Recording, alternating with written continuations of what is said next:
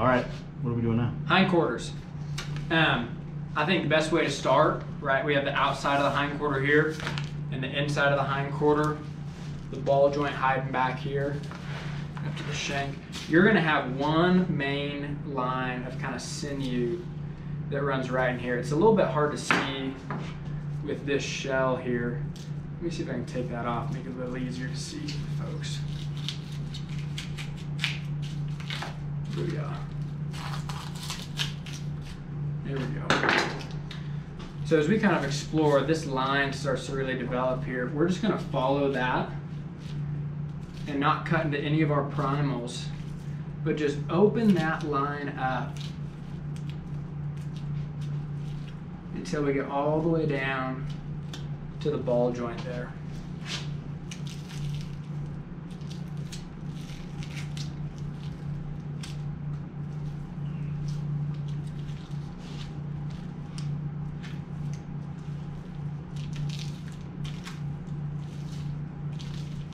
Booyah, there we are.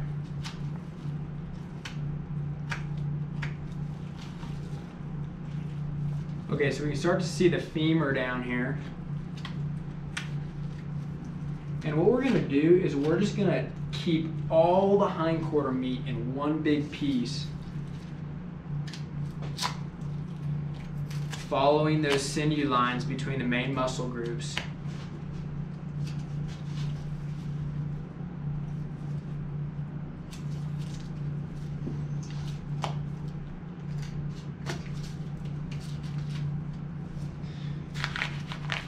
Mm-hmm. let me jump in here and recap. So you're basically going right in, right into the femur, Yeah. following the lines between the major muscles. Yeah, and this is a good kind of picture of where we're at here, right? We're down to the femur, and I'm just working my way around both sides of it until all that meat comes off in one big piece. then we'll start working our way up into the shank here. And really, you can debone a hindquarter and keep all your meat in one piece there, which is pretty slick. So, Let me get a good shot of that. yeah, we're just gonna keep diving in here. So I'll give you a little piece right here. We're working all the way around here, up to the shank. I've never worked backwards like this before. but as we can see here, it's just all coming right off the bone, following the lines between the muscle and the bone here.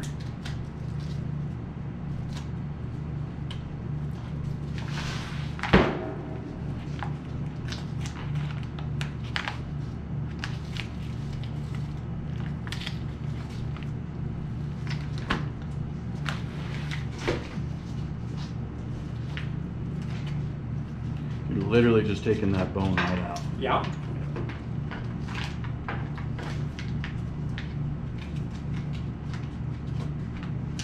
And when we do it like this, we don't risk cutting in to any of our primals, right? If we have a big, huge knife mark, we, you know, right in the middle of our top round, that might lose, you know, or might cut in half the size of eight of your steaks, right? And, you know, so you just have little medallions or something.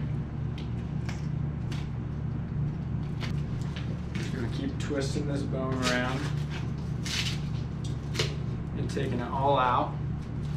A nice one big chunk here.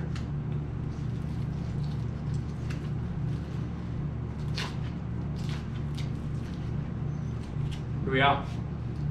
Debone hindquarter. So I'm gonna continue just to break these down into large primal pieces. And I think this can look kind of daunting for folks like, oh my goodness, a huge slab of meat. What the heck do I do? Um, just start cutting gently um, among muscle seams. And I, it will naturally develop as it comes across here. So I'm gonna start working in here between the muscle, not cutting any red meat. And booyah, here comes my little bottom round here coming off in one big piece. Nice, so that's our bottom round. I'm gonna take this shank off so I have to quit messing around with it here.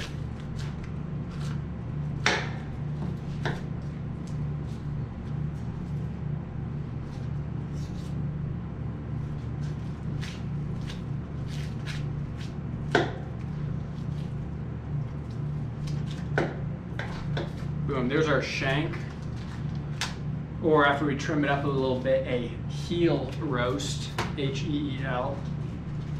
We're just gonna work left to right here. This is gonna be our eye of round. And again, I'm really not cutting through any red meat to accomplish this, right? I mean, this is all one whole muscle group here. So bottom round, eye of round, heel. We're gonna dive into our sirloins and top round here.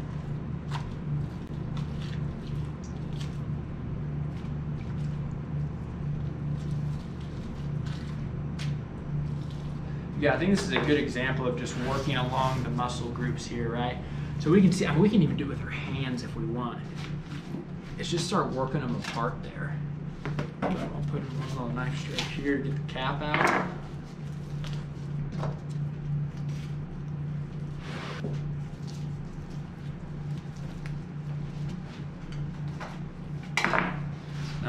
There's our top round, kind of a big trapezoid, very unique shape, pretty easy to identify. And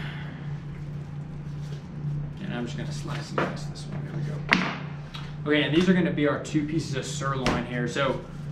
And once we trim these up, it'll be a little easier to identify them. Um, a top sirloin is, right, you go drive past like uh, Denny's, top sirloin steak, you know, 10 ounce, whatever. Um, that's this piece of meat. This will typically at the grocery store be cut into, you know, off of beef into a sirloin steak. Um, this is our tip sirloin. This is our top sirloin. Um, I think this makes great steaks. Typically with a beef, it'll be cut into a sirloin roast. Um, so kind of a bit of a difference there. This guy's going to be a little more tender than this one, um, but I'm not going to pass up the opportunity for eight pounds of steaks right there. Call me crazy. It's a lot of meat. I know it is. So we're just going to keep breaking here. I'm to take some of these caps off.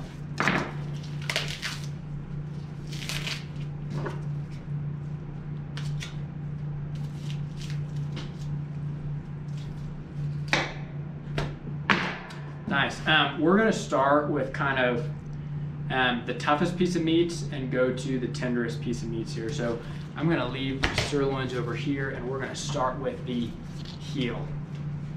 Um, so the heel is pretty much the shank, right? If we leave these bone in, we can do a full bone in shank. We can cut soup bones off of them, ossobuco, a few different things like that. Um, your grinder at home will have a real tough time with these big pieces of sinew. So what I recommend folks do is spend a little time getting the big pieces of that dried cap out, right? Get down to some red meat here.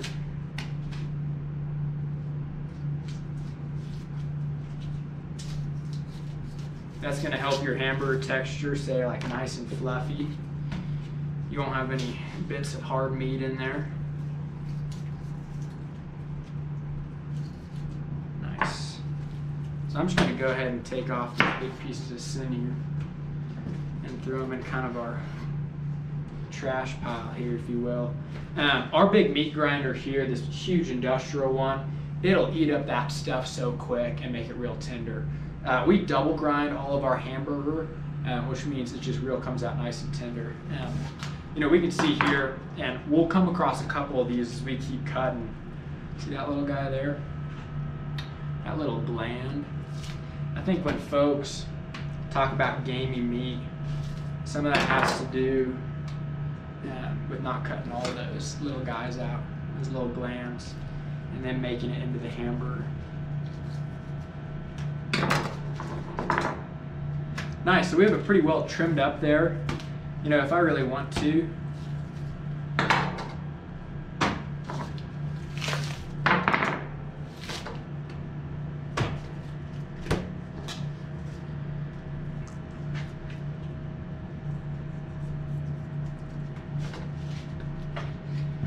kind of crude, I'm going quick here, but essentially what we have here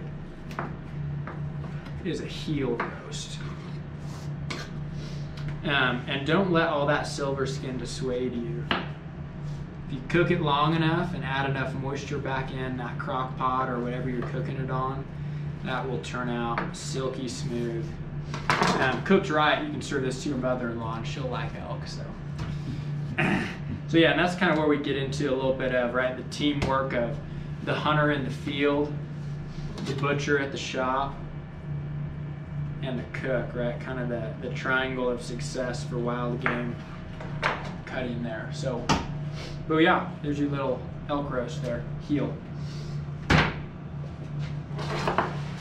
And I'm gonna work with, these are pretty synonymous to me when it comes to tenderness and or marbling um, or lack thereof on wild game. We got our eye of round, right? We can see here long and slender. Um, they'll create nice little um, medallion steaks, look like an eye, very circular. It's a good thing to remember. Top round, kind of looks like a big trapezoid top trap. Um, this is our bottom round here. So all these guys, if we trim them up, and we can make some huge kind of Christmas dinner type roasts, um, or you know cut them in half, create some smaller roasts, or after they're trimmed up, cut them into steaks across the grain, right? Grain, grain, grain, cutting across in steaks.